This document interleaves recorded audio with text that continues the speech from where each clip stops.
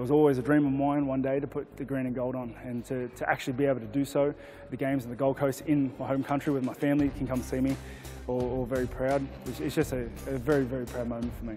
I think it was a blessing for both MMA and the, and the games, in fact, because we're just both breaking into different audiences. The UFC were more than happy for me to compete in the games, and the games are more than happy for me to compete in the, in the UFC. And we're both targeting different target markets, and it's great exposure for both.